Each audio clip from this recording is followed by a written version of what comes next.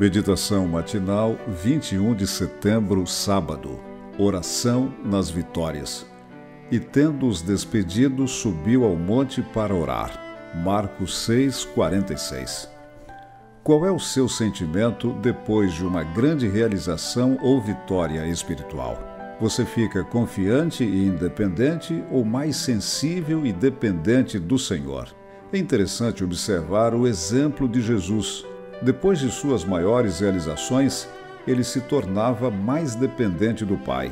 Quanto maior sua conquista, mais necessidade ele sentia de oração.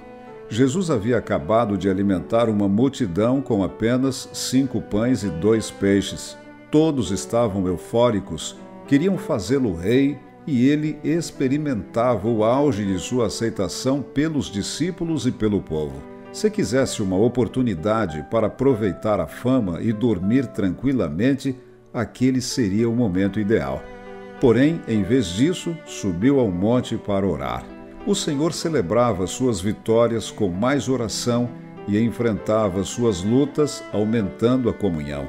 Ele sabia que se deixasse de orar ao comemorar suas conquistas, estaria em sério risco e o inimigo não perderia a oportunidade. Se não intensificasse a comunhão nos momentos de dificuldade, perderia sua fonte de poder e seria dominado pelo desânimo.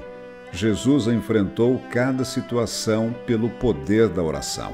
Ao mesmo tempo, os discípulos observavam suas atitudes e aprendiam como ele enfrentava de joelhos os desafios.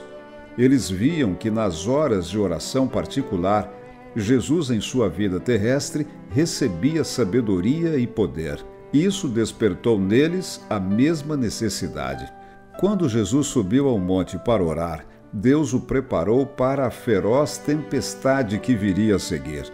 Os discípulos foram direto para o mar da Galileia, embarcaram sozinhos e ficaram desesperados quando uma terrível tempestade os assolou.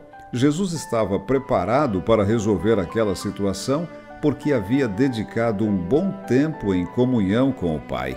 Por isso andou sobre as águas e acalmou o mar e os ventos. Devemos celebrar nossas realizações espirituais, fortalecendo a conexão com o céu. Depois dos picos, vem os vales. Depois da bonança, muitas vezes, vem a crise. Depois da calmaria, forma-se a tempestade. Aquele que sobe a montanha de mãos dadas com Deus sempre descerá para o vale carregado em seus braços. Intensifique a oração nas vitórias e Deus renovará suas forças para as batalhas que virão.